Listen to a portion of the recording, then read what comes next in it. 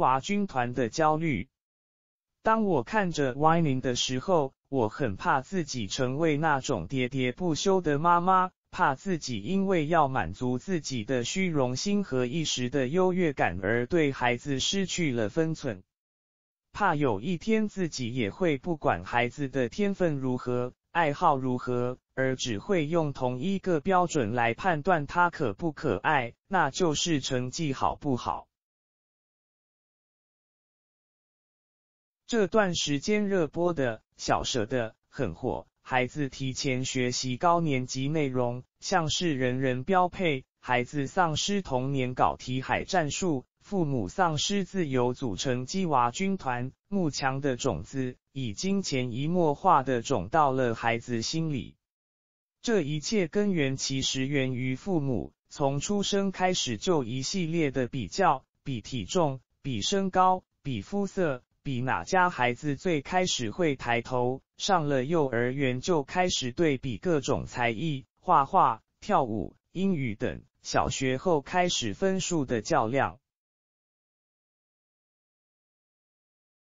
孩子的童年越来越不快乐，妈妈们也越来越焦虑。我自己进了几个宝妈群，特别强烈这种感受，因为我潜移默化也在受影响。所以果断屏蔽，有些直接退出。前段时间和一个朋友散步，无意中走到教育局门口，他突然停下来，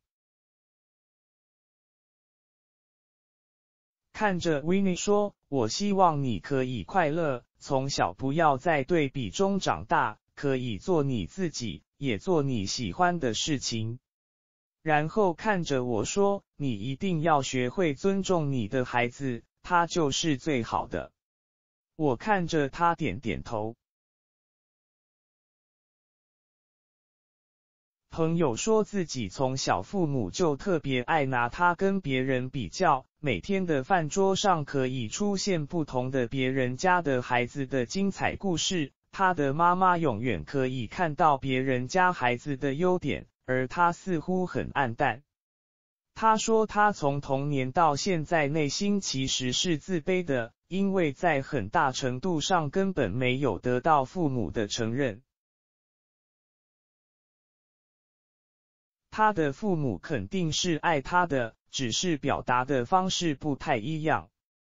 朋友的例子让我想到一句话：当你不断指责你的孩子时，他不会停止爱你。但他会停止爱自己。二、好奇心与兴趣。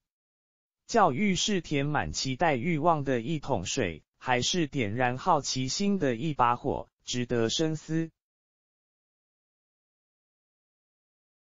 今天早上看《非常六加一》，有个叫刘富明的孩子表现让我很感动。飞牌小子削瓜如泥，技惊全场。在节目中，刘富明为大家上演了一场真人版的水果忍者。一个可怜的厚皮大西瓜上面扎得满满都是纸牌，看得现场一众嘉宾直呼太刺激。主持人绿泡泡忍不住感叹：古有小李飞刀，今有小刘飞牌。小朋友自述自己是一个内向的人，甚至有点自卑。节目里看到他的话也很少。因为一部电影，对纸牌好奇，产生兴趣。通过三年来持续不断的练习扑克牌，他说自己找到了自信。他发现自己是特别的，也通过这个认识了很多来自全国各地的朋友，还有记者对他进行访谈。或许在很多家庭的父母眼里，这就是不学无术，加以阻止。在小舍的里，田雨岚的孩子子优，学习认真，成绩优异，个性温和有礼，是很多人眼中别人家的孩子。但是面对小升初压力，他被田雨岚管得毫无喘息之机。他喜欢踢足球，田雨岚说影响成绩。他喜欢研究小虫子，想做一个生物学家，田雨兰说都是些恶心兮兮的东西，当生物学家太不切实际。殊不知，孩子找到快乐，发现到了自我的价值，才是事情的意义。人活着不是为了装水，而是发挥潜能，过好自己的生活。求全有时候是最长的弯路，因为它让你忘记自己的长处和真正热爱的事。人们都是在用自己的长板找到最适合自己的职业和定位，而不是用短板。四、意志力与自驱能动性。个人经历所谈。孩子的自驱能动性和坚强的意志力才是做好一切事情的关键。当一个人如果可以在一个领域钻研到极致，他同样在其他方面也可以做得很好，因为他做事的这种意志力可以迁移。越自律的人越自由。但最重要的是，他要发自内心的享受和坚持去做这件事。太多太多的人一考上大学，逃离父母的魔爪，就放任自己，每天沉溺于宿舍玩游戏，追求六十分飘过万岁。跨过高考后的学习，对于他们来说，好像已经是完成父母的任务。阅读的习惯，对某个领域的深究，这类人在普通的大学里真的是知之甚少。大部分人的大学时光是享受生活。我没有进入稳定的体制内，也没有入名校，更没有一毕业就一帆风顺的在世界五百强任职。但我很勤奋，我的每一步走得艰辛且踏实。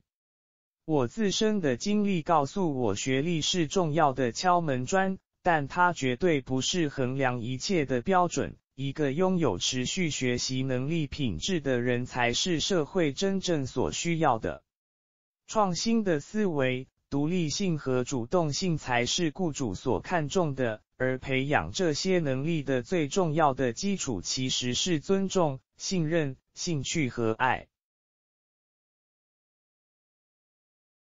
它存在于你成长的每个阶段，并不是上学才开始抓起，也不是一定要淹没在一堆的兴趣班里才可以培养。五、发现孩子的美，放下你的焦虑，不要去逼迫你的孩子，耐心的发现他们的优点，发现他们身上属于他们的特质，撇开单一的衡量成功和快乐的方式。鼓励孩子去挖掘内心的渴望，找到他们愿意一生为之奋斗的事业，并从中获得快乐。幼儿教育家蒙特梭利说：“每个生命在形成的初期，就已经具有了属于他自己的精神胚胎。孩子借我们降生于世，却没有义务顺应我们的期待而活。”他们带着各自的使命而来，会奔赴属于他们的远方。